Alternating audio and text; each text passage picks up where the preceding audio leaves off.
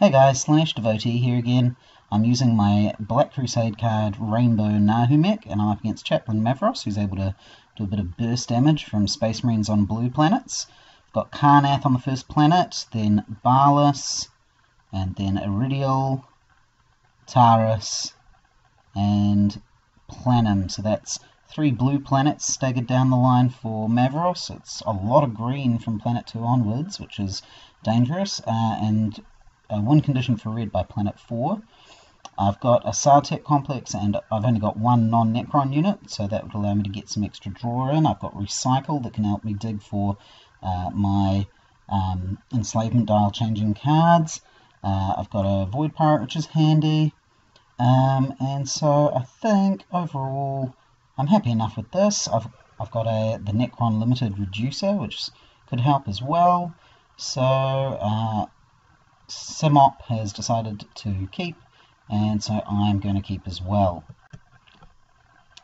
And he's straight into it. STC Fragment uh, as the first play, um, which is a limited, unique uh, card that allows you to reduce the cost of an elite by 2. I follow up with my Sautek, costs me 1, and whenever I put in a unit uh, that I have no other members of that faction, allows me to pick a resource or a card get some good draw, and he drops the Sword Brethren Dreadnought onto the first planet, a 7 cost elite with 3 command, 5 attack, 6 hit points, big Black Templars vehicle, its unstoppable trait, first time it was assigned damage, ignore the damage, and in his case, trigger the ability of the planet. And on Carnath, uh, that means uh, Mavros is able to simply use it at will. Uh, I noticed that Tarrus and Iridial are both down the line, so he can heal the Dreadnought. He can, because I'm expecting he won't put any other units into play, he can use Tarrus. Uh, let's see, he can trigger it with the Dreadnought, and then if he wins Planet 1, he can trigger it again. So that's that's pretty worrying to me, and uh, that, that gave me pause. Uh, I started thinking, should I put out these units? And you see me pausing, I'm thinking about it, I'm not sure if I only put out one unit, then he won't be able to trigger Tarrus. Um, so one is fine, and I use that to draw a card, and I get another Space Marine unit, and that basically I decide I, I may as well try and collect the command on the rest of the planet array. Um, he's done, he's got no other options and so I can I can pretty much unopposed put out these relatively cheap command units down the line. Tarrus is worrying me. Plannum is a worry as well because he could use uh, Carnath and Plannum to move that Dreadnought to wherever my Warlord is and uh, cause me some damage there.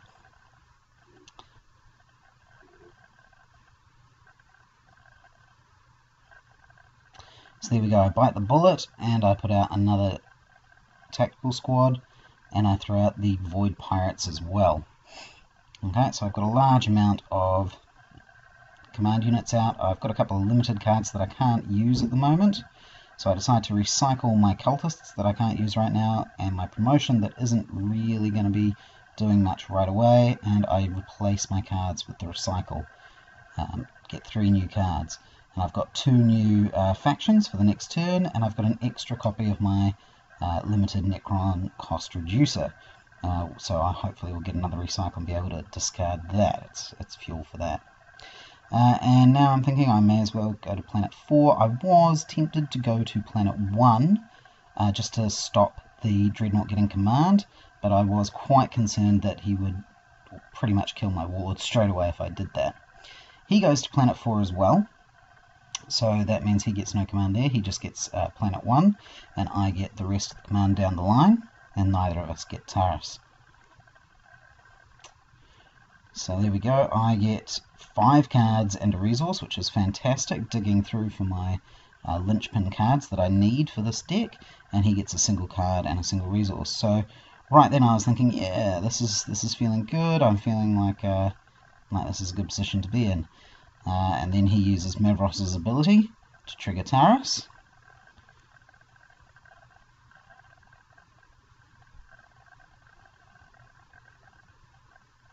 and he goes for resources to begin with. So he's up to five resources and six cards. And then we're into the battle. And I have nothing I can do there. Sort of looking through my cards and thinking about what I might play next turn. What are my options going to be for the next turn? Uh, so he gets Kar Carnath and he triggers Tarrus again, and this time he goes for cards. Suddenly I'm thinking, oh, that I think I've I've I think I've ruined my possibilities straight away. Uh, and then we go to battle at Tarrus, and I'm realizing that this is going to go all the way bad because I do not have uh, a good enough Warlord, or at least not without any shields in my hand. And uh, that's a definite downfall with this deck, as I've maximized how many factions I have, which means I've minimized my events and my attachments. Um, so I take a hit of 2. I may as well swing back and hit him for 2, um, but he's got just the edge of me. I'm a 2-6, and he, I believe, is a 2-7. So um, it's not going to pay off for me to stick around at Tarrus here. Uh, uses a No Mercy as a shield. Takes one point of damage.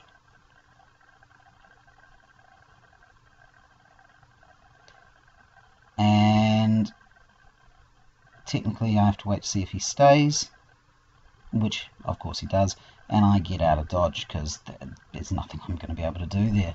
Um, which means he can trigger Tarrus for the third time in the first turn. Uh, I think my decision to spread out my command and see if I can do something that way was wrong. Was just flat out wrong. I think Barlas might have been a better choice.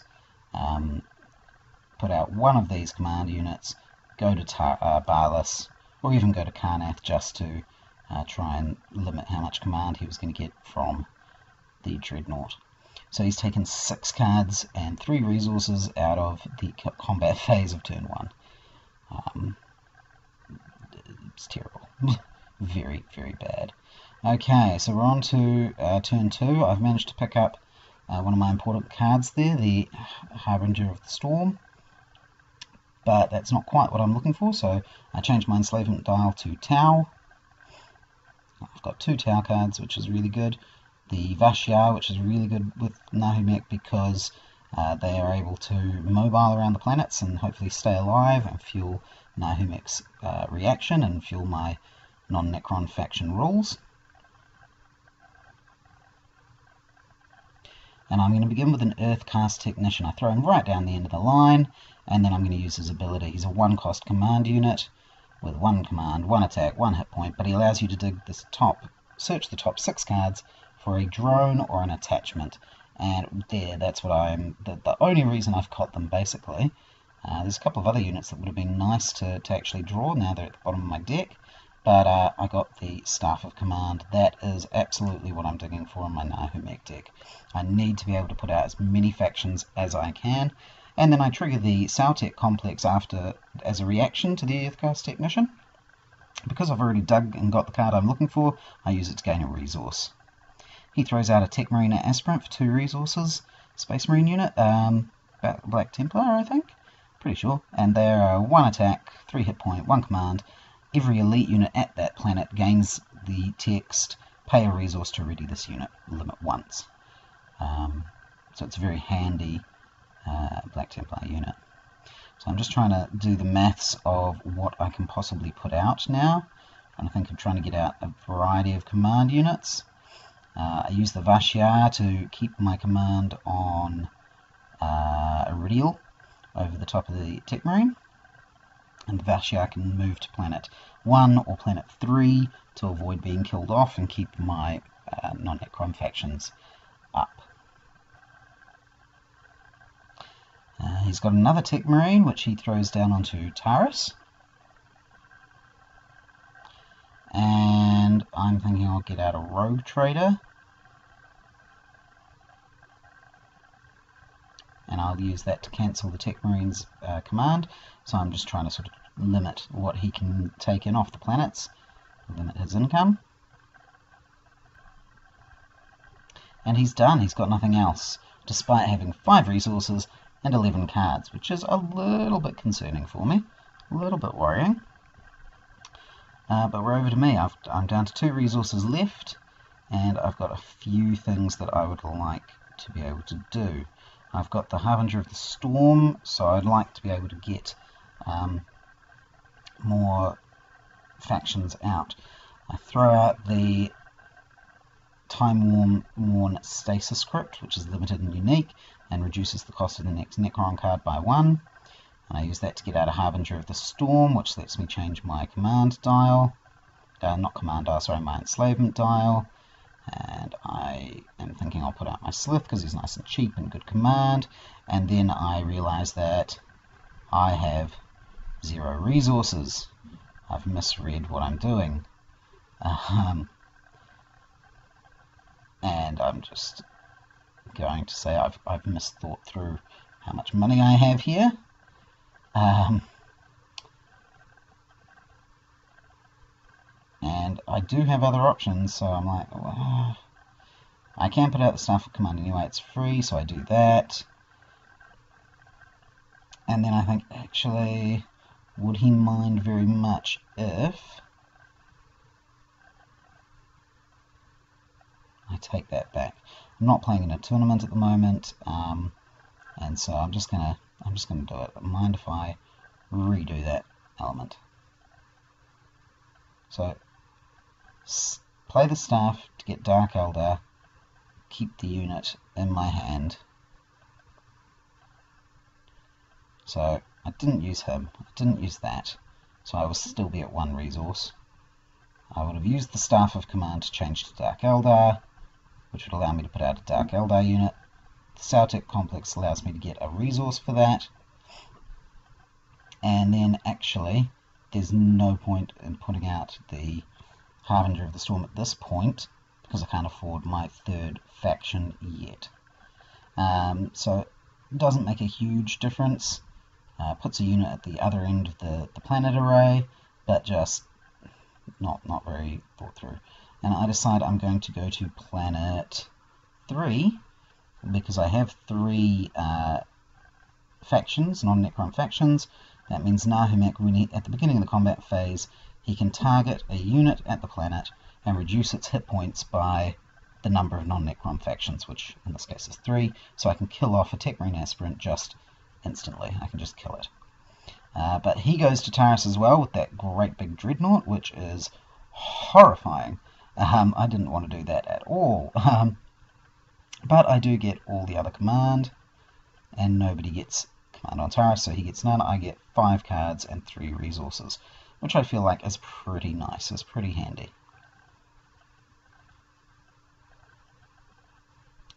Now I'm going to use Nahumekh's reaction to kill off that Tech Marine Aspirant.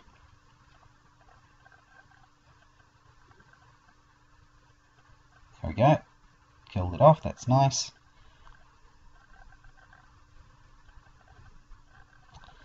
Uh, then he's going to trigger Tarrus, um, but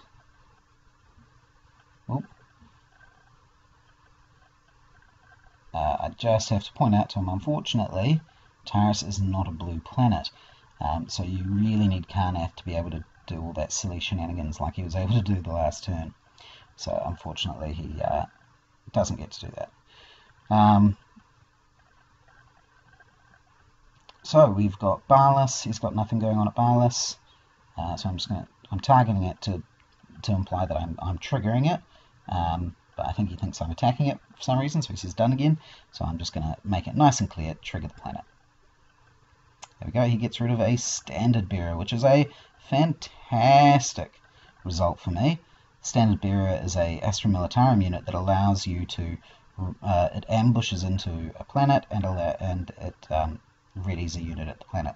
So he's able to ready that massive uh, uh, dreadnought, and I'm very glad that he's not able to do that. So we're on Tarrus. I absolutely cannot fight him on Tarrus, so I'm going to have to leave. There we go. Um, and now he can kill my rogue trader quite easily. and that means he wins Tarrus and gets to trigger it again. Really not what I'm looking for.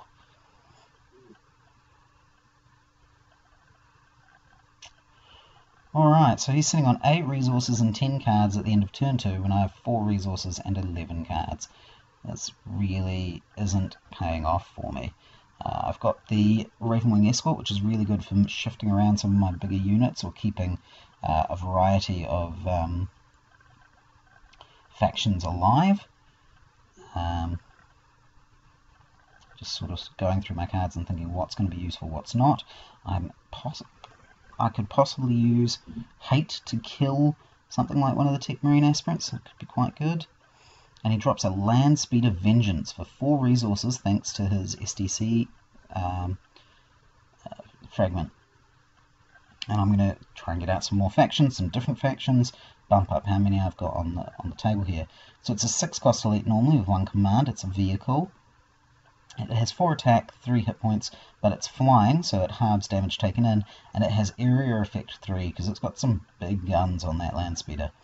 Uh, and that's a bit scary as well. So I throw out a 1 cost Astra down the end as a command, and get a resource back, so it's effectively free, which is nice, gets me my faction total up a little bit. Uh, it's not a green planet where the Caellem's Shrine Guard work better. They get a bonus plus one attack and plus one hit point on green planets. But to be quite honest, I, I just need another faction card down the line to build some command. That's fine for me, I think. He throws Fire Drake Terminators onto the first planet, so I'm getting quite scared by the big nasties that are turning up there. They, they are a 5 cost elite with 2 attack, uh, two command, and six hit points, three attack potentially. And when they're declared as a defender, your unit has to take it damage, which is before actually finishing the attack, which means um, you know small things will die before they hurt the Fire Drake Terminators. I put out the Harbinger of the Storm at this point, which is unique, so that's why I put it on the first planet to allow it to die potentially, uh, which means I can play it if I draw another um, Harbinger, I'm going to be able to play it. And the danger with them is if you play them safely and they stay alive, you lose the ability to play another one and get an extra faction out. But uh, I use it to enslave Chaos and get my Chaos Fanatics, drop them out. So that's now I've got five factions by turn two. And I get another resource out of that from the Sautekh complex because it's a new faction that I don't have in play. So the Sautekh complexes and the ability to put out all sorts of different factions every turn is what I'm going for with this deck. That's sort of the, the main thing here. The Shard of the Deceiver I'm considering putting down on that first planet um, because I've got so many cards in hand that I, I feel like I'm going to be able to keep it alive, keep it going. The Shard dies when you run out of cards, but it forces you to discard cards quite regularly. Uh, but I decide in the end that I've only got four cards in the discard, which means the shard would have 4 attack on 4 hit points. So I decide I'm going to go with my Doomsday Ark, which is the alternative non-Necron faction oomph in the deck. The Doomsday Ark is a 6 cost, 6 cost elite. It has 2 command, and it has uh, 4 attack, 4 hit points, 5 attack, 5 hit points, but area effect is equal to the number of non-Necron factions, so it's at the moment an area effect 5 which is really, really, really handy. I commit to planet 1 because I'm going to try and knock something out with my Nahumekh's reaction, minus 5 hit points. I actually win the command there with my command, with my command icons, which is great, um, and also all the rest down the, down the line, obviously. Uh, and so I'm hoping that the area effect of my Doomsday Ark is going to get me through here. And I take five more cards, three more resources, which is looking fantastic. I'm fueling everything I want here. I've got all my cards to make it make it work how I want it to work, which it's it's really great. I'm really happy. I've got a sixth faction there, which is really good. Hate, I was thinking potentially I could be using to get rid of Tech Marine aspirants. Um, if I change to Space Marine, but I already have Space Marines out, so I'm not sure I want to be on Space Marine. And I just want to check that he is getting his um, command from Tarrus, because I don't think he actually claimed it. There we go. One card, one resource. Okay, so we're on a blue planet on the first here. Uh, as the combat phase starts, my Nahumekh's reaction is going to be negative 5 hit points to the land speeder, which he backlashes because I am targeting an army unit at the planet.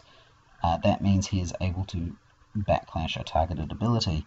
Uh, he can't destroy my warlord, but that really, really uh, worries me um, because I was really relying on having that land speeder dead.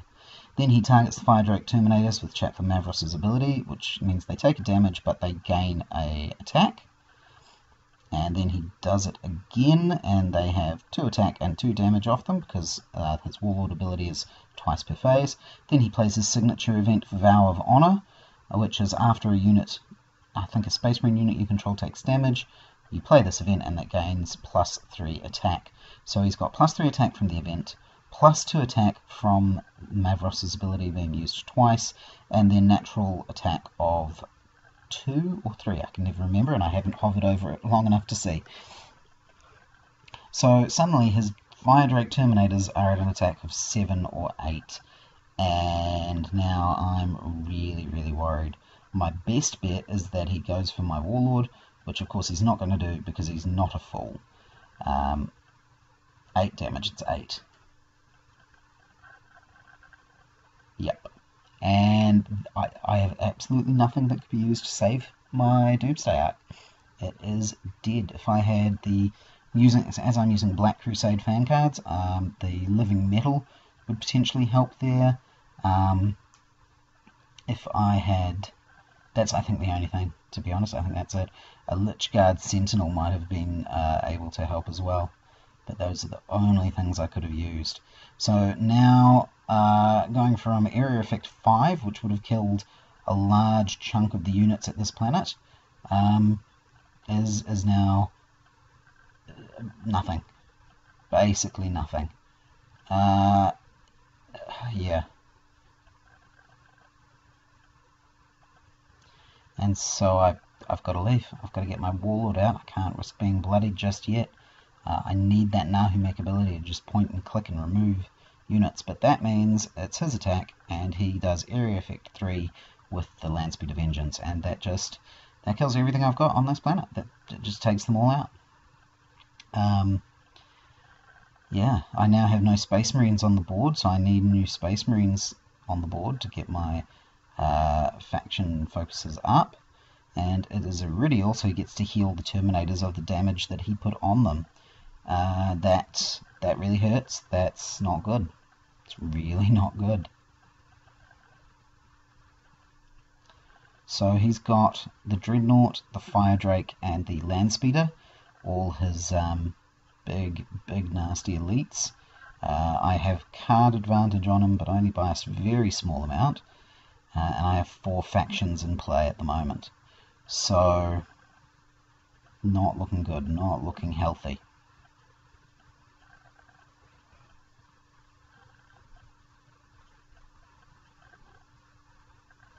Okay, so we're on to turn 4. Uh, he's now got a win condition for red. He's taken all the red planets so far. Um, and next planet would be a win condition for blue. And I've got my orcs, so I can get out uh, 6 of the 7 factions. This turn I can put out two one-cost faction units and use my Sautekh complex to uh, return the cost, which means I will have 6 factions in play. And I'm trying to, the only reason I'm spreading them out amongst the planets is just to try and limit the number of uh, factions he can kill at any one time. So I forgot to set to orcs before we began there, so I just make sure it's set. He gets another land speeder vengeance onto that first planet, and I change to Eldar for my enslaved faction. But he has nothing else to put out at the moment, so put out Saim-Hann Kinsman. Again, another cheap unit that I can get the cost back with Sautekh. There we go. So I'm effectively uh, only down cards, which is great. He's done so. I use the stasis crypt to reduce the cost of the shard and throw the shaft onto the first planet. So it's currently a um, 7 cost, 1 command, 9 attack, 9 hit point unit. Every time a phase begins or a combat round begins at the same planet, I have to discard a card, but I also have 13 cards in hand, so I feel like that's fine. Um, I should have discarded a card for the beginning of the command phase, which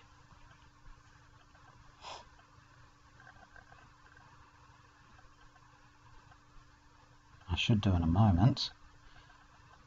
Uh, again, I get a wide swath of command because he's not spread out. He's using his big units to bully those first planets. Four cards and three resources for me. There we go. I discard a card for the shard for the command phase. Yeah, I'm just saying that that's what that's from. Beginning command should have discarded. Now I've got I've drawn my other two Sautekhs. They would have been really nice to have early, so every time I put in a, a card, I could have been digging further or pulling um, useful things. So, beginning of combat phase, I discard a card for the Shard. I try and kill the Sword Brethren, minus 6 hit points on the Sword Brethren. There we go. He backlashes again. Oh, I might have to start thinking carefully about what I'm hitting with my Nahumekh. I need to consider whether or not backlash is likely to cancel his effect. Um, if I had gone for the Techmarine Aspirant, for example, I could have definitely killed it. Uh, so that's that's just oh, that's a pain. Okay. And now we have the start of a combat round at this planet, which means I have to discard a card again. And then it is my initiative. So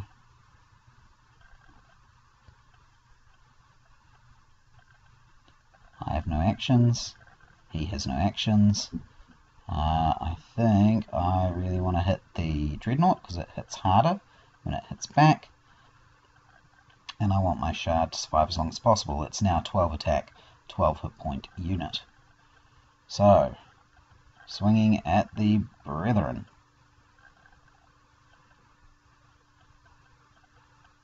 For, he says 15 is a rough guess. Uh, it's 12. So twice the hit points, which is fantastic. And he plays Indomitable for, for a resource, completely negating the benefit of my Shard of the Deceiver. Um, almost makes me think, having the Deceiver in my deck like this, I almost think maybe I should be... Uh, oh yeah, his Unstoppable triggers Tarrus and he gets three resources. Maybe I should be using the Shard, I should be putting out uh, duplicate factions, so I should have put out my extra Astra Militarum and Tau and stuff on the early planets to, because I knew I needed a big discard pile to make the Deceiver just really, really nasty. So he gets rid of Nahumekh, he focuses on that, which is fine. Still got a shard undamaged on the first planet. Does 4 damage to the shard, there we go, and I realise I shouldn't have discarded Hate, I should have kept it because it would have meant I get a shield. Does 2 damage from Mavros. And I was thinking, excellent, okay, let's at least, okay, I discard another. And I'm thinking, okay, okay, what can I do next? But he uses his uh, Techmarine Aspirant to ready the Vengeance and to ready the other Vengeance and the Dreadnought and then they swing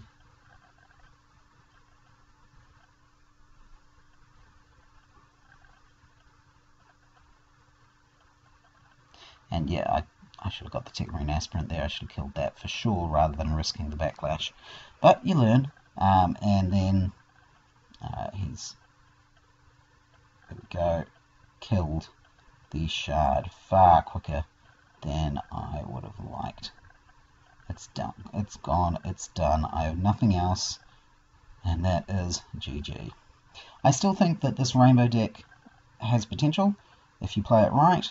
Um, being able to do area effect 6 and having the shard deceiver with heaps of cards that you've discarded because you've got a lot of cheap things that you've allowed to die on first planets would be good. But then he's got two more Indomitables and a crushing blow that I, two crushing blows that I had no real answers for. So in this case, it just it just didn't do enough.